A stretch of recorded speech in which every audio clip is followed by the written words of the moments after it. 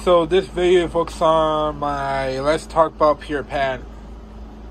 It all started 1953. We have Peter Pan, the original, front, came out in 1953. Here the back is on for 77 minutes.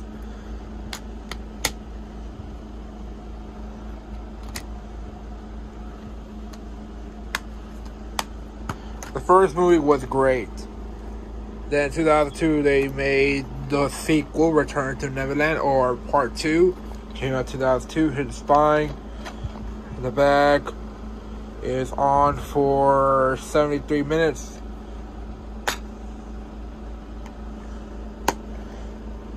Part 2, is okay, sequel, but it did come make a comeback, Peter Pan, the first one.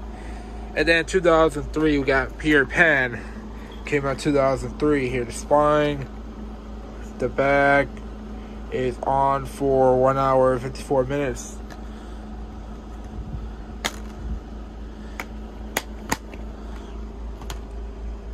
Then 2008, their spin-off, Tinkerbell, came out 2008. Here the spine, the back, it comes with special features, is on for 78 minutes. Disc. And then 2009, I got Tinkerbell 2. This came out 2009. It comes with special features. It is on for 80 minutes.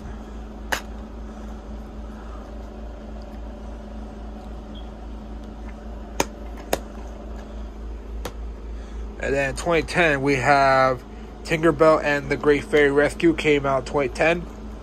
The back is on for 77 minutes. I believe it's the last in the trilogy. If I'm not mistaken, yeah.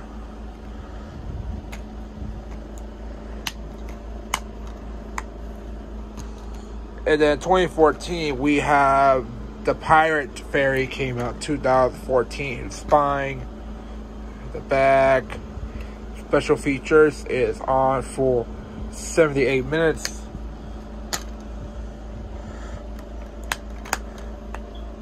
Comment down below, which your favorite Peter Pan movie?